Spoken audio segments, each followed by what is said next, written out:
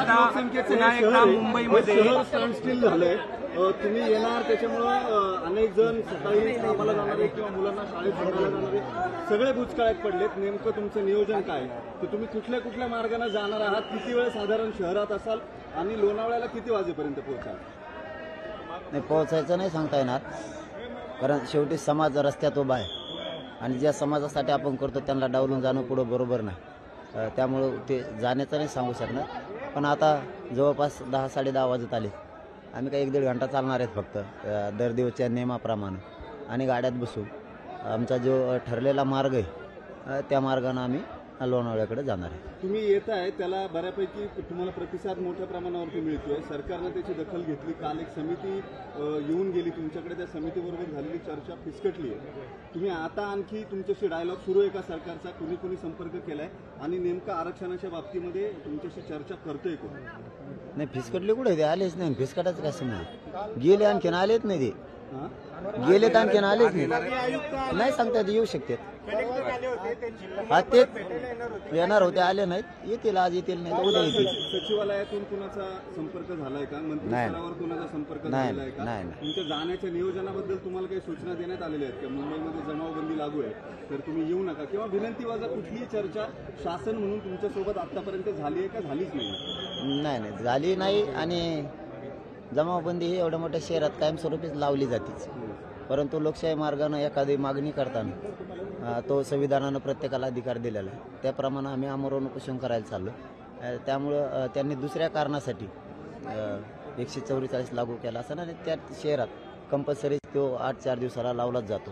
आमच्याच वरती आमच्यासाठी लावलाय असं आम्ही अंगावर घेण्याची काय गरज नाही. वाहनांना बंदी करण्यात आली आहे. वाहनांना पण बंदी करण्यात आली आहे. मुंबईमध्ये वाहनांना नो एंट्री अशा प्रकारचं सांगण्यात आलं आहे. सगळ्या वाहनाला मुंबईतल्या? या मा- वाहनं आहेत आपल्यासोबत. आमचे एकटेच आहेत. वाहनं करायचं सगळ्याच करावं लागेल. मुंबईत आहेत तेवढे बी. आम्ही कशाने जायचं मग? विशेष अधिवेशन बोलवतायत असं सांगितलं जाते. मुख्यमंत्र्यांनी मोठी घोषणा केली आहे. मागासवर्ग आयोगाकडून हे सगळं सर्वेक्षण जे आहे ते पूर्ण झालं. की तातडीनं विशेष अधिवेशन बोलवून मराठा आरक्षणाचा कायदा करणार असं मुख्यमंत्र्यांनी स्पष्ट केलं. तुमची पुढची भूमिका काय असणार आहे तुम्हाला हे कन्वे झालंय का? माध्यमांमधून बातम्या सुरू झाल्या जर असं असेल तर तुमची पुढची भूमिका काय आहे की तुम्ही मुंबईला जाण्यावरती ठाम आहात? चोपन्न लाख नोंदी मिळालेल्या आहेत ओबीसी आरक्षणातल्या मराठ्यांच्या ते प्रमाणपत्र आम्हाला वाटप वितरित केलेले पाहिजेत. त्याच्या परिवाराला पण वाटप केलेले पाहिजेत. आणि जो सगळ्या सोयऱ्यांचा गणगोतातील सगळ्या सोयऱ्यांचा शब्द त्यात ॲड केला आहे त्या नोंदीच्या आधारावर प्रमाणपत्र देण्यासाठी म्हणजे ज्याची नोंद मिळाली नाही त्याच्यासाठी. त्याची व्याख्या आम्ही दिल्याप्रमाणे घेतली. तर आम्ही पहिल्यापासूनच सांगतो आम्हाला मुंबई जायची हौस नाही आहे आणि ते जर घेतलं तर आम्हाला काही अडचण असण्याचं कारण नाही. कायदेशीर ज्या गोष्टी कायदेशीर आहेत त्या गोष्टीच इन्कॉर्पोरेट करता येतील किंवा घेता येतील त्याच्याच आधारावरती आरक्षण देता येईल असं सरकार सातत्यानं म्हणतं तुमची सगळे सोयरे ही जी टर्म आहे ही टर्म कायदेशीर दृष्ट्या त्याच्यामध्ये बसत नाही असं यापूर्वीही स्पष्ट करण्यात आलेलं आहे. काल संभाजीराजे कोल्हापूरमध्ये बोलताना असं म्हटलं की भावना आणि कायदा या दोन्हींची सांगड घालून या आरक्षणाचा निकाल लवकर सरकारनं लावावा. आंदोलनकर्त्यांनीही कायद्याची बाजू जी आहे ती समजून घ्यावी. तुमच्या बाबतीमध्ये एक असं मत तयार होतंय का की तुम्ही केवळ तुमचा हेका लावून धरताय कायदेशीर बाजू जी आहे ती तुम्ही ग्राह्य धरत नाही आहात किंवा कायद्यामध्ये जे बसतं ते तुम्ही मान्य करत नाही आहात? तुमच्यावर टीका करणारे अनेकदा असं म्हणतात की तुम्ही रोज वेगवेगळ्या मागण्या करा. कोणची केली एकदा समोर येऊन सांग म्हणा नवीन मागणी कोणची केली? आणि आमचा हेका फेका नाही आमचा सगळ्या सोयऱ्यांचा शब्द जेजनी घेतलेला आहे. जे ज्यांना कायद्याचा अभ्यास न्याय देतात न्याय मंदिरात सगळ्यांना. त्या जेजनं दोन न्यायाधीशांनी तो शब्द घेतलेला आम्ही नाही दिलेला. जरांगे पाटील येत आहेत त्यांच्यासोबत लाखो लोक आहेत आणि याचा परिणाम कदाचित वेगळा असू शकतो याची जाणीव असून देखील सरकार कुठं तुमच्याकडे किंवा या समाजाकडे दुर्लक्ष करत आहे का? तीच तर एक आता आम्हाला एक प्रकार वाटतोय की इतका मोठा समुदाय येतोय. आणि त्यांनीच केलेल्या त्यांनीच दिलेल्या शब्दावरती आम्ही बोलतोय. आणि ते नेमकं त्यांनी दिलेल्या शब्दावरच काम करत नाहीये बघूयात आता. मुंबईत दोन गेल्याच्यानंतर. दिवसापूर्वी अजित पवार असं म्हणाले की इतक्याच तारखेला द्या असा हेका चालत नाही थोडा वेळ द्यावा लागतो.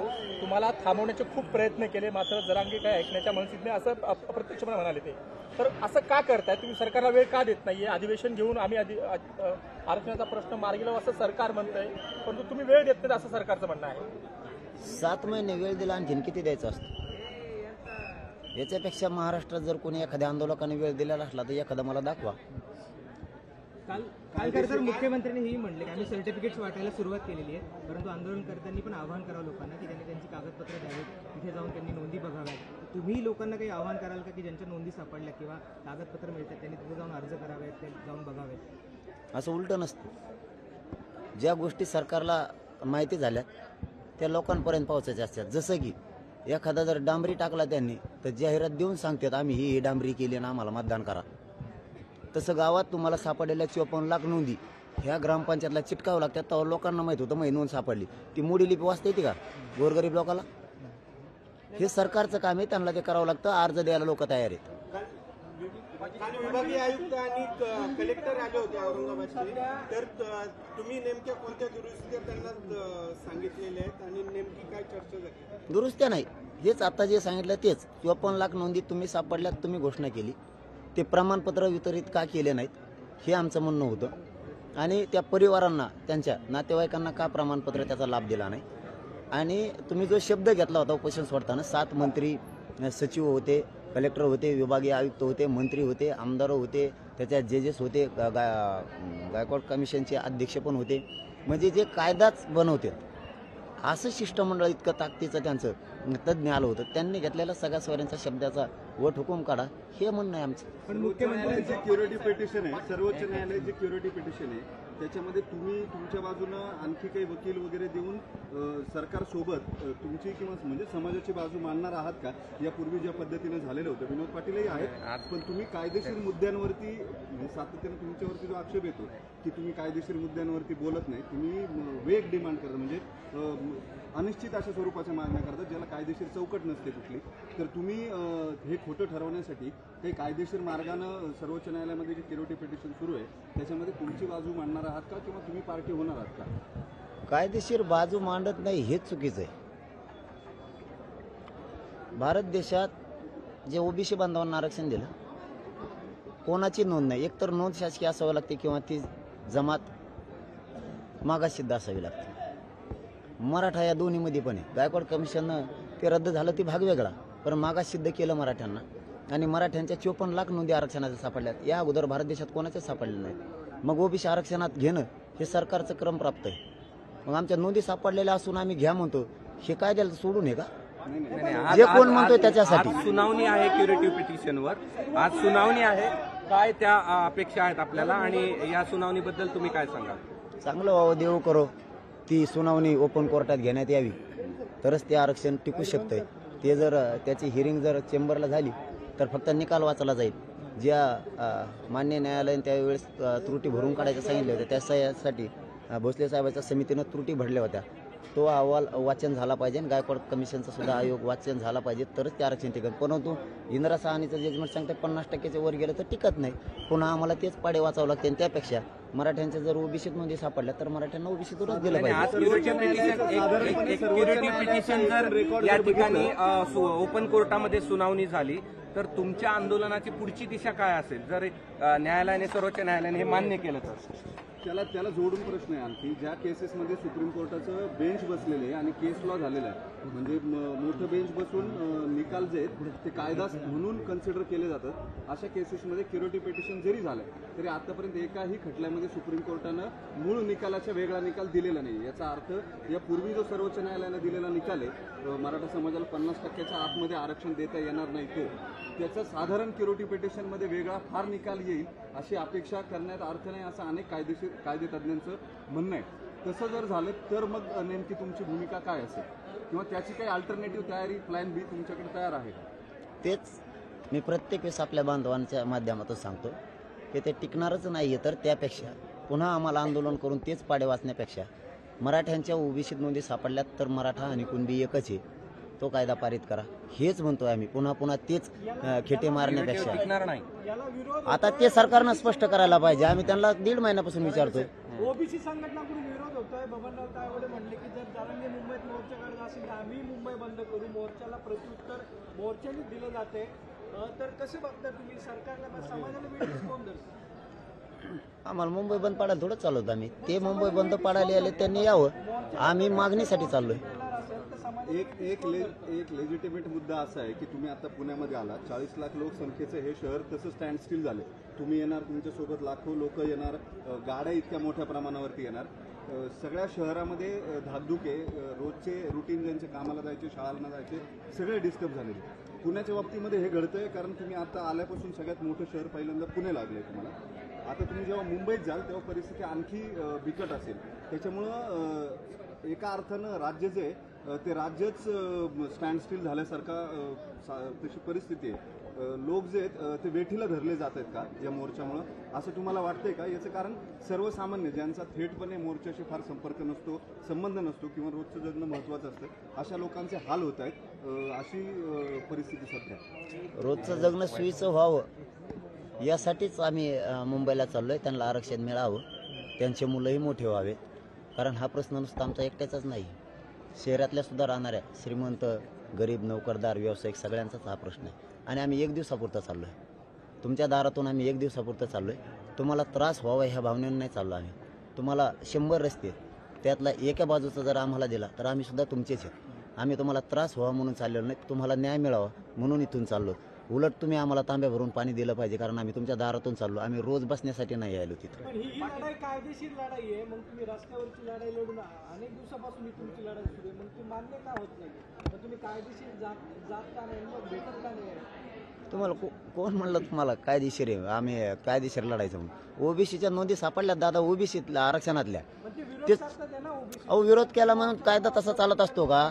मी विरोध केला तुम्हाला. म्हणून माझंच ऐकन का कायदा? कुणी म्हणलं म्हणून तसं होत नसतं. आणि ते होणार पण नाही. नोंदी कुणबी समाजाच्या सापडलेल्या आहेत? तुम्ही कुणबी आणि मराठा एक आहे ही मागणी जी फॅक्ट्स वरती जी मागणी मान्य मागताय तुम्ही त्याचा अर्थ असा होतो की कुणबी आणि मराठा एकच आहेत हे सरकारनं मान्य करावं. जे कायदेशीर आणि तांत्रिक दृष्ट्या दोन्ही दृष्ट्या शक्य नाहीये. ते शक्य असल्याचं कुठलं लेजिटिमेट फ्रॅक्शन तुमच्याकडे आहे का? किंवा तशी काही चौकट आहे का की कुठल्या बेसिसमध्ये हे बसवता येऊ शकतं? आता याच्यापेक्षा काय बेस पाहिजे? मराठ्यांच्या चोपन्न लाख नोंदी ओबीसीत असलेल्या कुणबी म्हणून सापडल्या. याच्यापेक्षा काय बेस असायला पाहिजे? आणि त्र्याऐंशी क्रमांक पण सांगतो.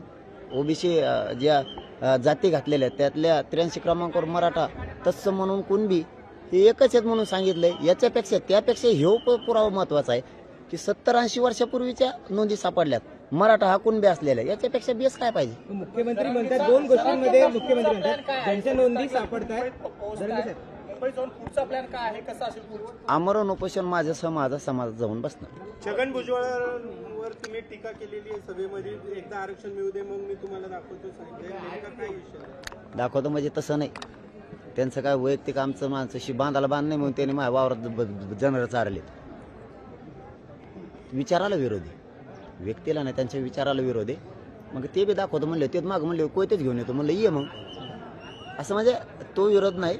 आता बच्चू कडू आले होते ते म्हणतात एकोणतीस लाख प्रमाणपत्र वाटप झाले दोन दिवसात चर्चा झाली आरक्षणाचा प्रश्न मिटलाय आता कोण तुम्ही बाजू. आम्ही तर डाटा मागितला त्यांना त्या दिवशी. डाटा द्या ना. मग डाटा तर असेल ना दादा. प्रमाणपत्र दिले आता तुम्हाला दिलेलं मला माहीत नाही.